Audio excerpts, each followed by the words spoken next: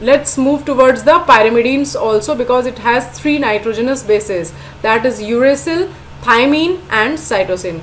Uracil is present in case of RNA and thymine is present in case of DNA so here you can see the difference between the uracil and thymine also. Uh, uh, here you can see the structure of uh, uracil first. It is also known as 2,4-dioxo. Di means two oxygen atoms are present but where that is on the second position and fourth position here you can see. So let's start. One more thing you have to remember here that you have to learn only the six letters here. Six letters here it means only CN, CN and CC. No need to learn uh, N, N and C here so that is the happy thing you have to do here so let's start C and C and C C. Okay. Here we start numbering from this nitrogen atom. In the case of purines we were starting from this one. But in case of pyrimidines we will start from this one. Uh, this simple thing you have to remember only okay? Now you can see that nitrogen then carbon, first position is the nitrogen, second carbon, third nitrogen, fourth carbon, fifth carbon, sixth carbon. And then 2,4-dioxo, it means on the second position, one oxygen atom is present.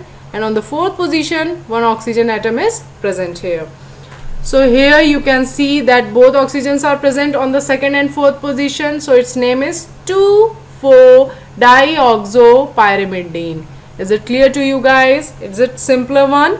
Okay let's move towards the thymine the the difference between the uracil and thymine is only only the presence of methyl group. Because in uracil it is not present and in case of thymine it is present.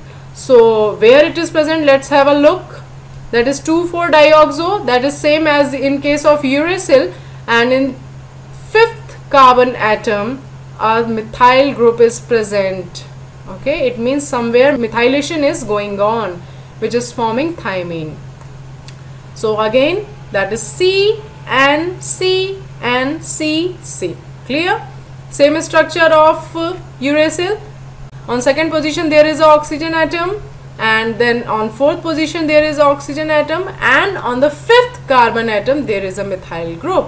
That is the methyl group which is present in fifth position. That is the main difference. Rest of the things are same. You can see here that the mainframe structure is same in both or you can say in uh, all three cases. That is uracil and thymine and cytosine. Now come towards the last one. That is the cytosine. We also known as cytosine as 4 amino 2 oxo pyrimidine okay?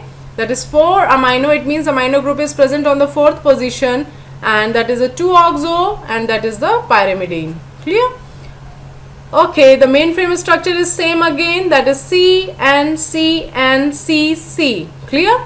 Numbering will start from that nitrogen. That is 1 2 3 4 5 6 and where amino group is present? On the fourth carbon. So here it is the amino group. And that is present on the fourth carbon and 2 oxo it means oxygen is present on the second position. Here it is the oxygen. So I think this is clear to you. So one thing you have to remember only that nitrogenous bases that has two types that is the purine small name that is a small name but big structure and in case of uh, pyrimidine big name and small structure. Clear? Purines has two types it means two types adenine and guanine. In the previous slide you can see here and adenine is known as 6 amino purine and guanine is known as 2 amino 6 oxo purine eh? and then after in case of pyrimidine the main frame structure is same and only only six letter are used here these six. In case of purine it were nine but here only six.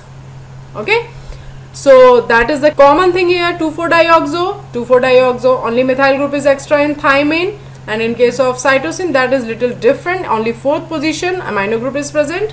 And 2-oxo it means on the second position oxygen atom is present. Now I think these structures are clear to you. So guys now I think that these all structures are clear to you. Is it now you can make a Kuti checker after learning these structure and whenever you want to play you play with that okay? Play with that Kuti checker so that will help you in revision of these nitrogenous bases. You can draw the inside also like that and outside. So let's play and let's learn so that is the complete way of learning actually and that will really going to help you in your exams. And guys once again i am repeating that thing that if you are feeling any kind of doubts related with your biology or in any topic if you are feeling doubt you can tell me in comment section. If you have any queries any questions in your mind which are going which are continuously bothering you you can tell me guys frankly and I'm going to answer you definitely. So this time so for this video I think this is sufficient and hope you have enjoyed the video. And don't forget to subscribe my channel. That is Biomania a complete solution for biology. And uh, if you like that video don't forget to press the like button and also share with your friends so that they will also learn these tricks and shortcuts for studies. Okay bye bye this time